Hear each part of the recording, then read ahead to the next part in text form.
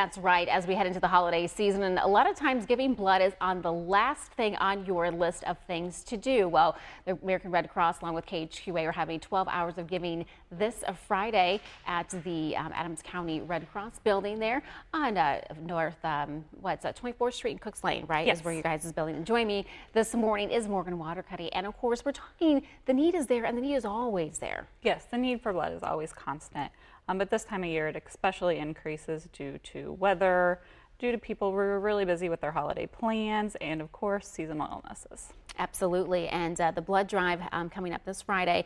You guys need all types of blood. Absolutely. Um, we encourage everyone who's eligible to donate to come donate. If you're not sure if you're eligible, come out and we'll tell you.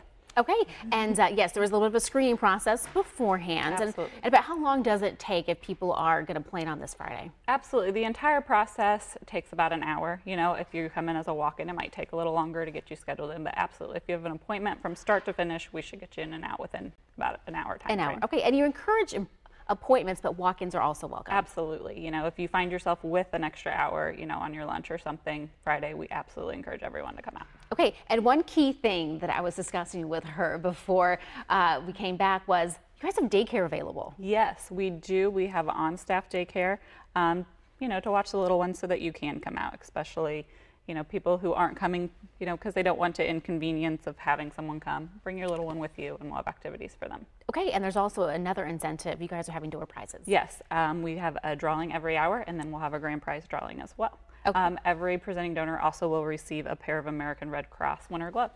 Okay, wonderful. And they might need it this weekend because Yes. we're expecting so quite a bit of snow here in the Tri-State. So once again, we have the 12 hours of giving. It is this Friday. What time does it start and what time does it end? 7 a.m. to 7 p.m. Okay, and it is at the location there. Absolutely. Um, we'll have donuts for breakfast in the morning, and then we will serve a hot meal the rest of the day. Okay, and any questions, they can call the American Red Cross. Absolutely. Okay, so hopefully they will see you guys out there on Friday for the 12 hours of giving. We're back right after this.